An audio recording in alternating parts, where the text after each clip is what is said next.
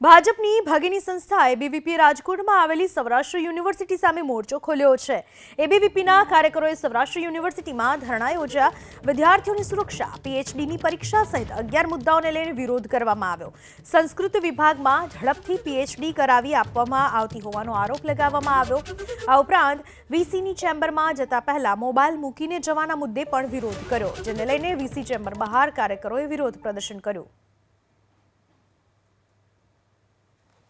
સૌરાષ્ટ્ર યુનિવર્સિટીમાં વિદ્યાર્થીઓને અવારનવાર પ્રશ્નો સામે આવતા હોય છે.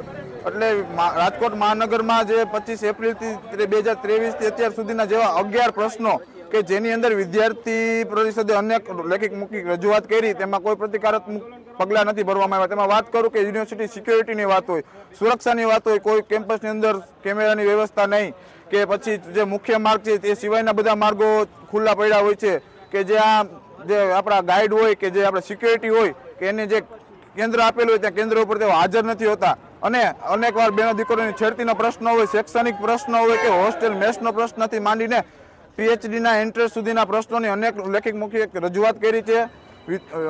શાસન પ્રશાસને કે તેની સામે કોઈ પણ પ્રતિકારક પગલાં ભર્યા નથી. એટલે વિદ્યાર્થી પરિષદ આજે રોષે ભરાયો છે. વિદ્યાર્થી પરિષદ રાજકોટ મહાનગરની ટીમ અહીં ધરણા પ્રદર્શન માટે આવી છે. જ્યાં સુધી વિદ્યાર્થીઓના હિતમાં પ્રશ્ન લેવામાં નહીં આવે અને ત્યાં સુધી આવી રીતના નિરંતર તબક્કાવાર આંદોલન શરૂ રહેશે અને સંપૂર્ણ જવાબદારી યુનિવર્સિટી પ્રશાસનની રહેશે.